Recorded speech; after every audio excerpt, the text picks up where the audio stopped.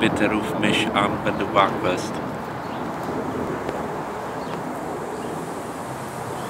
What's up everybody? Doing another cigar review. La Floridita Premium. It says handmade in Nicaragua. Right off the cigar band, I could tell that it's uh, a little bit better quality than the previous cigars I smoked recently. And uh, what can I say about it? A bit of a dark wrapper, no discolorations that I see, construction solid, um, a bit firm, definitely on a bit firmer side, especially around this portion is basically hard as a rock, so I don't know how it's going to smoke when I get to that point, but firm construction, nice uh, cap everything. When I cut it, no cracks, no nothing. Pretty good.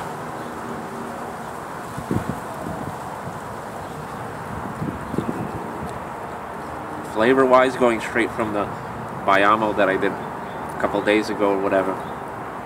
This is a million times better, people.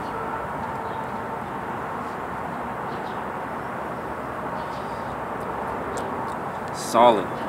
When I first lit it, I'm not too far into it. Burns a little bit crooked, might have to touch that up, but it's no big deal. Ash is looking pretty white and pure so far. First flavors I got was like sort of a dark chocolatey pepper vibe.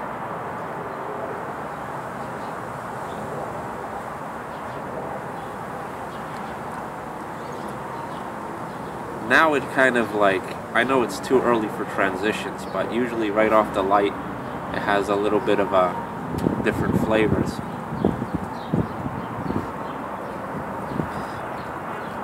I'm just gonna go with overall flavors. Overall flavors.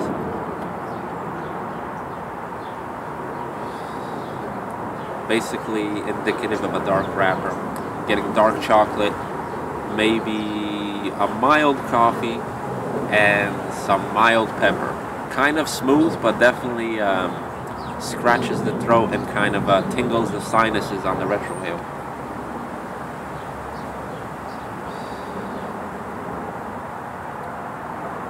For me, this classifies as sort of a medium strength so far. Maybe it'll get stronger, I don't know. But flavor-wise, intensity-wise, I'm going to say it's a medium strength.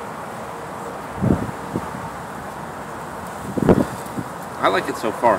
I gotta touch up the burn. See you guys in the next portion. So far, so good.